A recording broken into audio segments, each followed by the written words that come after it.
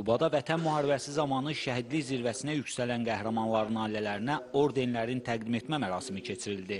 Mərasimdə çıxış edən rayon icra hakimiyyəti başçısı bildirdi ki, 44 günlük vətən müharibəsində əldə olunan tarixi qələbə bizim qürur mənbəyimiz və şərəfli tariximizdir. Bu zəfəri xalqımıza yaşadan Müzəffər Ali Başkomandan və rəşadətli Azərbaycan ordusudur.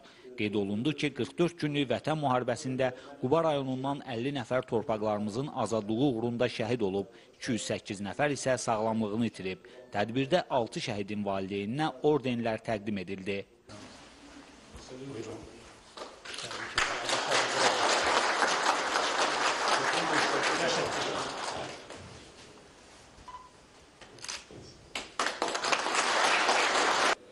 Mən də fəxr edirəm. Mənim evladım da bugün vətənə layiqli 44 gün müharibəsində qəhrəmancasına şəhid oldu.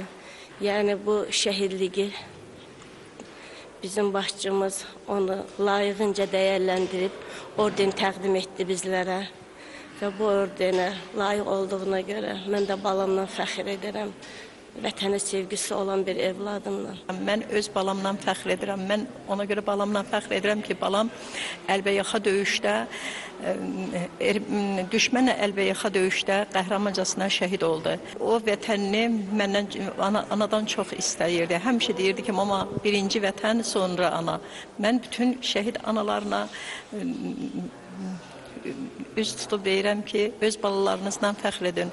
Torpaqlarımız 30 illik həsrətə son qoydu balalarımız, işğaldan azad olundu. Biz bugünkü gündə balalarımızla fəxr edirik. Mən də bir şəhid anası kimi balamla çox qürurluyam. Balam başımı uca elədi. Bugünkü gündə də orden verilib. Allah razı olsun. Tədbirdən sonra rayonun İsnovqışlaq kəndində 1-ci Qarabağ müharibəsi əlili Rəhimov Asif Güləhmədoğluna və 1-ci Nügəri kəndində 1-ci Qarabağ müharibəsi şəhidi Şirinbəyov Pərviz Əkramoğlunun anası, əslən Ukraynanın Jitomir şəhərindən olan Qalina Şirinbəyovaya Əmək və Əhalinin Sosial Müdafiəsi Nazirliyi tərəfindən inşa olunmuş fərdi evlər təqdim edildi. Olub, e, onlar dört kardeş, dördü de gitmiştir müharibeye. Biri Perviz kayıtından sonra, şehit olandan sonra obursu uşaqlarım qayıtıb gəlmişdi. U- Belə qərar var, var idi ki, şəhid evində olan oburslar daha uca azad olunmalıdır. Mən e, e, bizi prezidentimizə yenə deyirəm, uzun ömür, can sağlığı versin. Həmişə onun başı uca olsun. Ee, Bugün bizim aile için çok sevindirici bir gündür.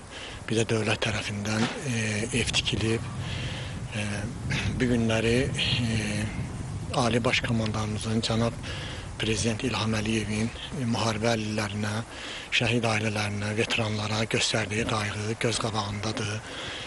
Daim diqqət mərkəzindədir. Onu da qeyd edək ki, indiyədək Qubada 150-dən artıq şəhid və qazi ailələri evlə təmin olunub.